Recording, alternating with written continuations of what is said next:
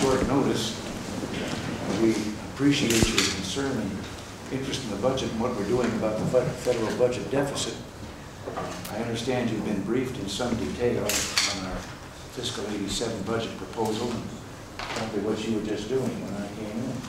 Yes, sir. I hope I could, did I- did you get it? Well, I finished. I heard enough of me. I couldn't find out one thing, though, he was talking about he cut out the curtains from the conservation on the advisors and took them home, and he still has them up his curtain, but he didn't tell us what he paid for them for surplus. I didn't pay nothing for them. See, that's the difference. We will, we will charge people. Well, let me just add a little here. I believe 86 is a year of decision, and is the year to decide whether we'll have the will to at last bring federal spending under control and remove what I think is the last remaining obstacle to a future of growth and prosperity. It's the year to decide whether we can make the tough decisions that we agreed to last year when the Gramm-Rudman-Hollings legislation became law.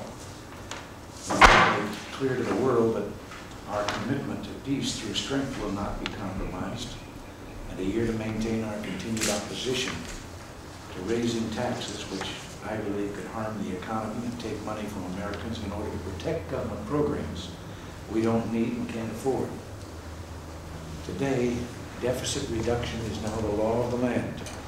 Gramm-Rudman-Holling mandates a declining deficit path leading to a balanced budget in fiscal year 1991. And I don't mind sharing with you that my dream is that when that moment comes, we put into place an- a constitutional amendment that says that the budgets will remain balanced from then on. And I'm gonna run over to the Jefferson Memorial to see if that statue is smiling. Because he is the first one who ever mentioned that. At the time of the ratification of the Constitution, Thomas Jefferson said it contains, or it does not contain, it has one glaring omission. It does not have a prohibition against the federal government borrowing. So I think after 200 years, we ought to catch up with Jefferson. The deficit will be cut. The big question is how. The Gramm-Rudman-Hollings automatic spending cuts are triggered only if Congress abdicates its constitutional responsibility and fails to pass a deficit or a budget that meets the deficit targets. And in other words, Congress still has a choice. It can be responsible by making those careful and sometimes difficult spending decisions, or it can simply drop the ball and let the across-the-board cuts take over. The budget that I will soon be submitting to Congress was carefully prepared by taking into account our defense needs, the proper role of government, the Gramm-Rudman-Hollings deficit targets.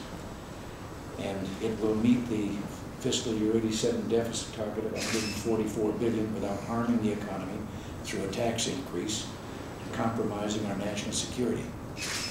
It'll preserve the social safety net for those who are truly in need, and will not penalize older Americans by reducing social security benefits. And as I'm sure that Captain Jim has mentioned, our budget will include a modest increase in defense to sustain recent improvements in capability. Now, some will say that too much, that that's too much for defense, but the proposed funding levels for national security in our budget are consistent with the real growth path that was agreed to by myself and the Congress last year. Incidentally, Bill Casey just the other day had to testify before the Senate and the House committees in this matter. We've been playing catch-up. With all this drumbeat of propaganda about the defense budget, uh, ignored has been the situation of the great massive buildup of the Soviet Union. And we're still playing catch-up. We haven't caught it. And I don't know whether I'm repeating something that maybe Camp said, but in the 10 years, just between 74 and 84, so that takes in some of our years, the Soviet Union has procured three times as many intercontinental and submarine launched missiles as we have, six times as many intermediate range ballistic missiles, nine times the surface to air missiles, 50 times the bombers, long range and medium, that we have procured in the same period. Twice as many fighter planes, twice as many helicopters, twice as many submarines, three times as many tanks, and 10 times as many artillery pieces. So I don't think that we're being extravagant in suggesting that we still have a little job to do in catching up with them. Higher taxes, as I said earlier, are no cure for the deficit. I think that reducing uh, the deficit by tax hikes would impose substantial new tax burdens on American households, and as experience has proved, would reduce incentives for Americans to work, save, and invest, thus choking off the creation of new jobs. Experience has also shown that higher taxes do not necessarily go to reduce the deficit, but more often they're used to justify increased government spending. The current economic expansion is well into its fourth year. Over 9 million new jobs have been created since November of 1982. We've made significant progress in reducing inflation, but I'm not going to rest until it's down to zero. Nominal interest rates are coming down and are well below levels reached in the 70s and the early 80s. Excessive federal spending and a large federal deficit are the last major obstacles blocking our path, as I said, to lasting prosperity. The budget we're sending to Congress on February 5th will put us on the right track to a balanced budget by fiscal year 1991. It'll reduce the deficit while promoting economic growth and meeting our national security requirements. We've made the tough decisions, now it's time to see if Congress is up to the challenge of passing a responsible budget. I need your help, and I encourage you to make your views known. I know we're in for a tough battle. Together, we can reduce the deficit and set America on a path to permanent prosperity. But now that's enough from me. I'd like to hear from you. What's on your mind? Questions? Maybe you have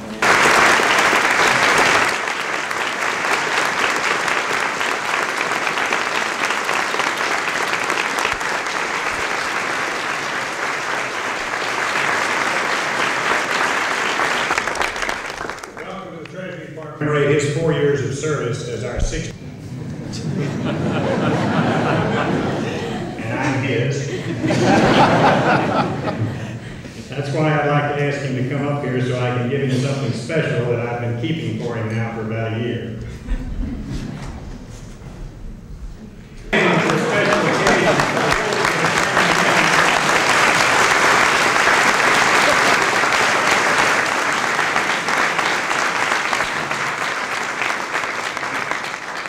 Seriously though, Mr. President, I, I thought it would be appropriate to take this opportunity to give Don the highest award that the Treasury Department can offer, the Alexander Hamilton Award. Don, of one thing I'm absolutely certain, Alexander Hamilton, an adopted New Yorker like yourself, and a promoter of energy as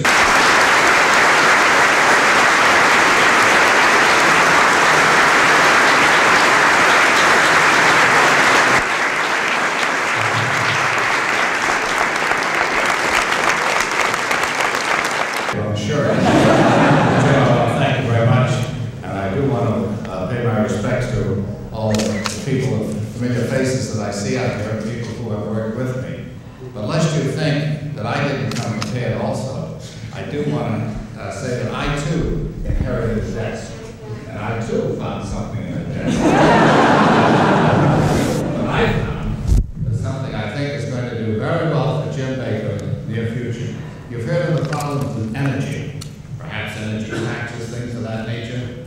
Here's a position paper, Jim Baker's position paper, issue number two, action on energy, from the campaign of Jim Baker for Attorney General.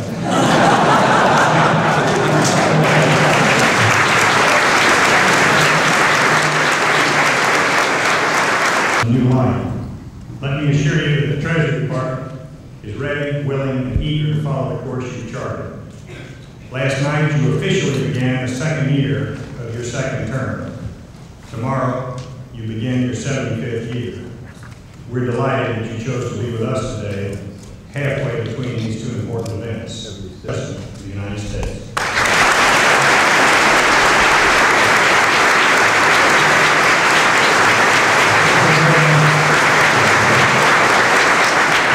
Pastor on here that's speaking old times and never heard it. Tomorrow is my birthday, how do you know about that? I prefer to think of it as the thirty-sixth anniversary of my 39th. A few more of these, and I'll be just about due for a midlife crisis. thinking about a career change. Not this political business. See if I can't do something different like radio or the movies. Maybe I'll see a dramatic change for the better. We'll still be needing your help in the months ahead, keeping tax reform on track. As I outlined last night in the State of the Union, return the full two thousand dollar personal exemption for itemizers as well as non-itemizers, at least for those individuals in the lower middle income bracket. Trusted increasing share of the tax burden on the shoulders of families with children. You might. We think it's about time the federal government stopped putting personal exemption today equal in purchasing power at one of the six hundred.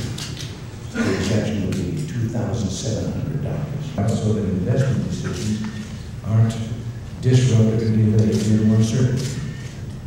A minimum tax success. We should all reflect on the dramatic, even revolutionary change that tax reform represents. We must work to promote the expansion of world trade and growth of the global economy by strengthening economic policy coordination among our industrialized trading partners. As I mentioned in the State of the Union, I have directed Treasury Secretary James Baker to determine if the nations of the world should convene to discuss the global relationship of our currencies. Many developing countries with large debts are in particularly dire straits, and we in the industrial world must assist them in dealing with their difficulties. Denial of property rights. In particular, we must encourage them to avoid high tax rates that only choke off incentives and slow growth. The plight of many developing countries is desperate, and the call to action is urgent. So let's begin now to spread hope and opportunity across the world by encouraging lower taxes, freer and fairer trade, and a sound monetary system. And your traditional and essential enforcement activities, you're going to have your hands full here at Treasury. Working together, we can make 1986 the year that tax rate cuts open wide the doors of opportunity at home, and our program for sustained growth will bring jobs, growth, and hope to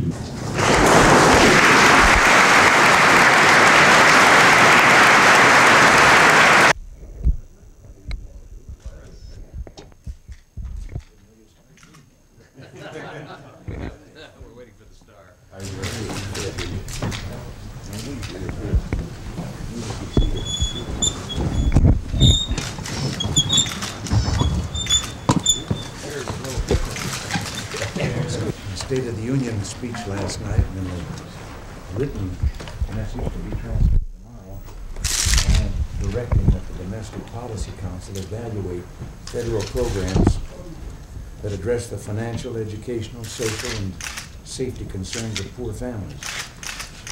And I want the council to report to me by December first an evaluation strategy for immediate action that we should take to meet these concerns.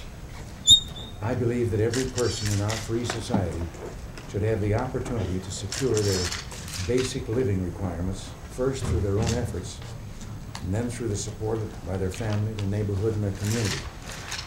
I also believe that many federal programs have not been working to make this happen.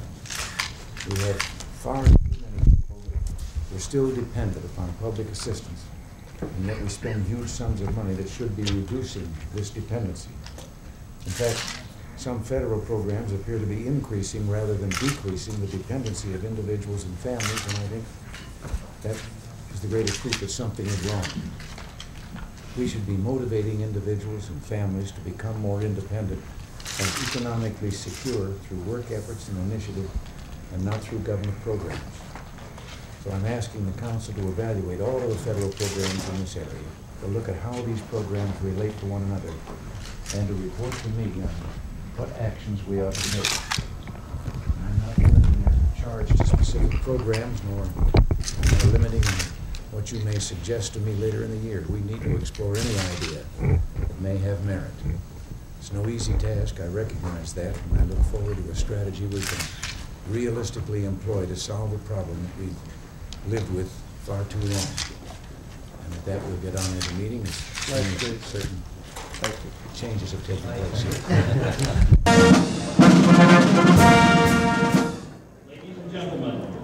President of the United States, accompanied by Secretary Bowen.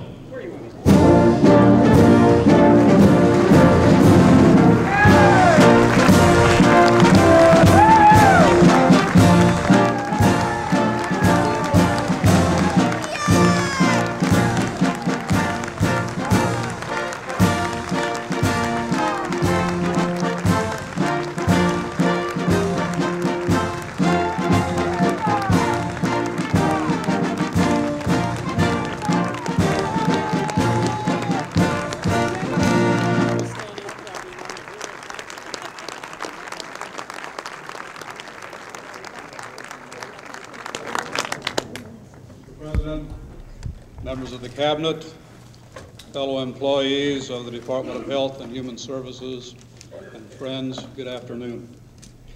Today is special.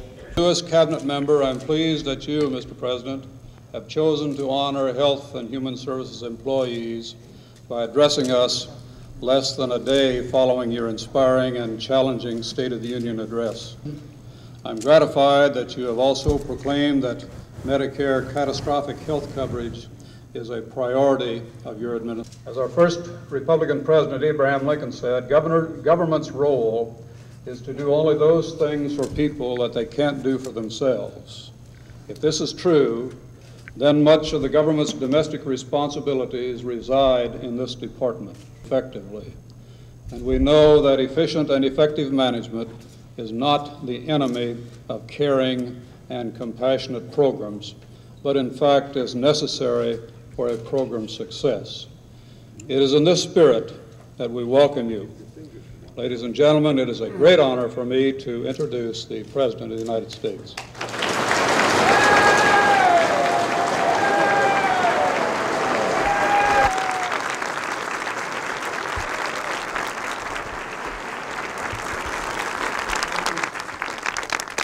Thank you very much, and I thank you. The last two presidents that visited here in their first term weren't reelected.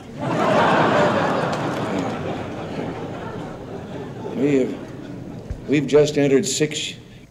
A new year every year, and a birthday, thirty-sixth anniversary of my 39th birthday. I always think age is relative. There was once a very famous baseball. How old would you be if you didn't know how old you were? That's how I came up with 39. Well, in in Indiana to come here and help us. Won't be an easy job, Doc, but it's a very, it's a job worth doing. Out of all the executive agencies, it's possible to help us. We have a lot of major initiatives ahead of us. We're going to move toward a more efficient healthcare system, and we're going to try to see if we can. As you know, I've asked Dr. Bowen to study how the private sector and government can work together on this problem and report to me by the end of the year. We continue to support emphasizes competition and broadening the type of health care plans that qualify as alternatives to traditional Medicare coverage. We will encourage private health care providers to develop. Isn't it wonderful the way I say we? and so much of it's going to be you? Well, we're going to take a that doctors and others have to pay. And we're going to look at the practices that minimize malpractice exposure. These are just a few of our plans, but I want to mention one more. One of our highest public health priority on AIDS. Your plate is pretty full, but I know you're up to the job. You always have been. I want you to know that across town in the White House, we're aware of your good work, of how hard you work, and we appreciate it. And I just want you to know, we started a little Moss Hart, the playwright, who was an inveterate along that line. And so one night at a cocktail party in Hollywood, he was introduced to a Dr. Jones. And almost immediately he started talking about, I've been having this low back pain. And the fellow that introduced them said, Moss. Oh, I just, well, thanks again. God bless all of you.